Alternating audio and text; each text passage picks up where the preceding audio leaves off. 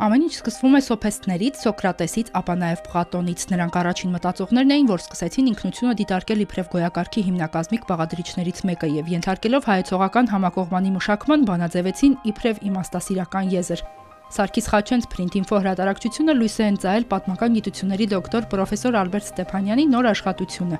Պատմության հետագիծը գործք գրույթի իմաստ գրքում հեղինակն ընդգրկել է 15 հետազոտական ակնարկ նվիրված հին հունական, հելենիստական եւ հայոց քաղաքակրթության ինքնության հիմնախնդիրներին։ Հիմնաթեման հայոց քաղաքակրթության ինքնությունն է։ Հերավոր ժամանակներից մինչև 20-րդ դար, ուրարտական ժամանակներից մինչև 5-րդ դարավերջ հայոց միջավայրում քաղաքակրթությունը կայանում է մեր դիպրև իշխանակենտրոն, մերթ մշակութակենտրոն, երբեմն էլ հիբրիդացված համակարգի արդյունք։ Առանձնակի կարևորվում են պատմական տեքստերը։ Ինչպիսի պատմական տեքստեր ենք ստեղծում մենք, ինչպիսի տեքստեր են գրում օտարները մեր մասին եւ վերջապես քաղաքակրթական արժեհամակարգը, խոշոր անհատականությունները եւ նրանց շրջապատող ընտրախավը։ Ստեղծվում է մի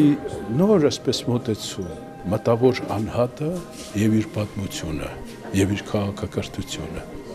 Նրանք են, որ ասենք պայմանական ժամանակը, պայմանական տարածությունը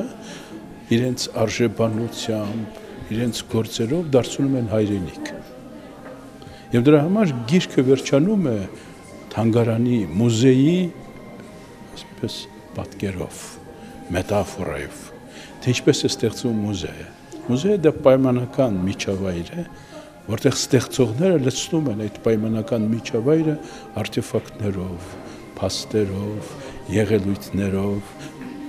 ասույթներով, դրամասույթներով, դիսկուրսներով եւ դրանք կազմակերպում են իբրև պատմության խաղընթաց Ալբերտ Ստեփանյանի մենագրությունը արդեն կա հայ գիրք գրախանութների ցանցում եւ Երևանյան մյուս գրատներում։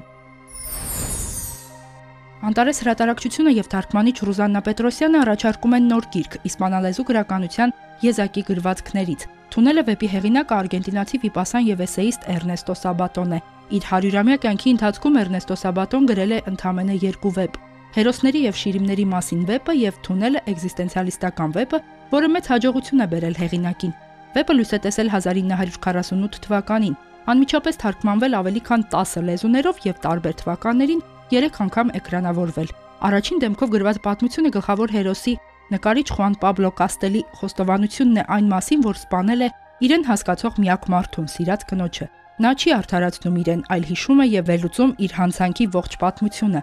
Վեպը դետեկտիվ չէ, Հոգեբանական եւ փիլիսոփայական դրամա է, որտեղ միայնակ եւ ինքնամփոփ հերոսի կյանքը հավերժ մենության ու խելագարության թունել է։ Ինչպես անձամբ հեղինակն է նշում, թունելը հոգումուտ պատմություն է, որը լույս եւ հույս է փնտրում մռայլ թունելի փակողու վերջում։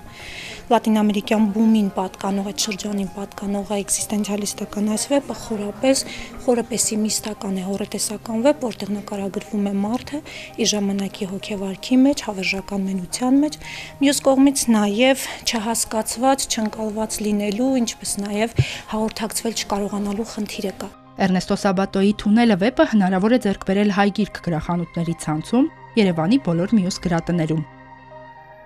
Հերմինե Հակոբյան, Գևորգ Ավակյան, մշակութային ազդագիր։